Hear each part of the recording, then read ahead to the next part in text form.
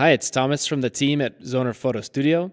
Today we'll discuss how to use the FaceAware Liquify tool to adjust individual facial features, which is found in the Liquify toolset. This is a new feature within the Liquify kit and is a part of the 2019 spring update. You'll find this new tool in the editor module under the Liquify toolkit, and it can be used for various alterations in portrait shots, such as thinning the face or creating fuller lips. Let's see how it works and how we can use it.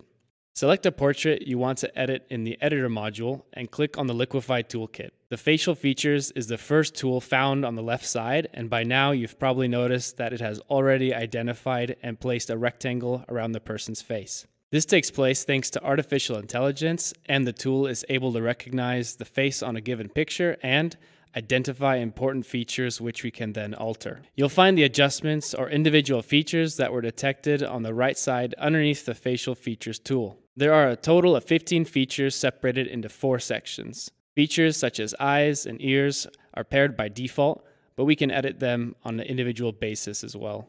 If you have an image in high definition, your editing options are quite expansive with this tool. You can easily compress the face, then slightly emphasize the eyes,